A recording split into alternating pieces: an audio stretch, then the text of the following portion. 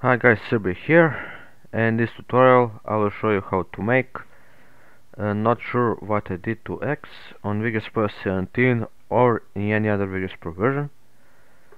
So for this tutorial you of course need a source which is right here and of course it a Vegas. It can be other versions like 60, 50, 40, 30, 12 etc or new versions like 70, 80, 90, 20 and 21. So let's get into this effect.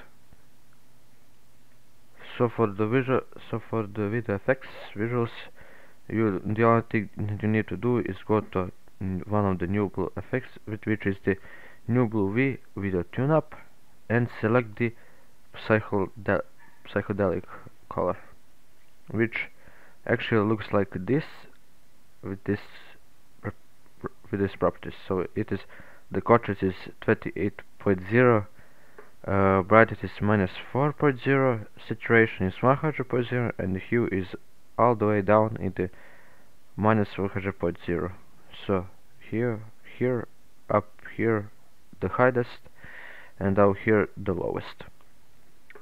And now you need to also go to 0 and 0 go. So you click this which is called pan crop and the only thing that you have to do here is basically just click the flip horizontal and that's it.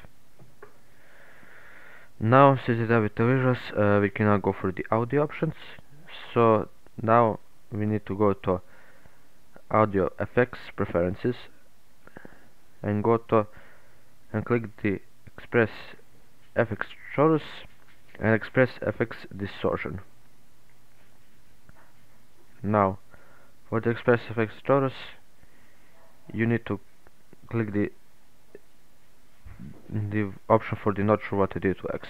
So so the size of this one is the first one the one. The rate which is which the rate is in 10,000 depth is in the half 50% and and the chorus is 100% with 0% of the original and the last one the express FX distortion. We have to click the gristle option.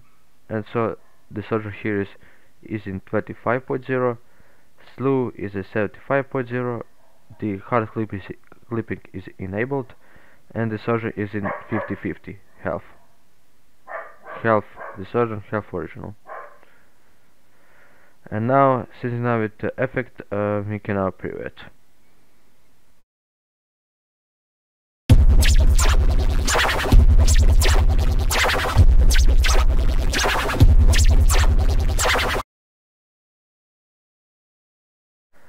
Alright guys, so that's it for this tutorial.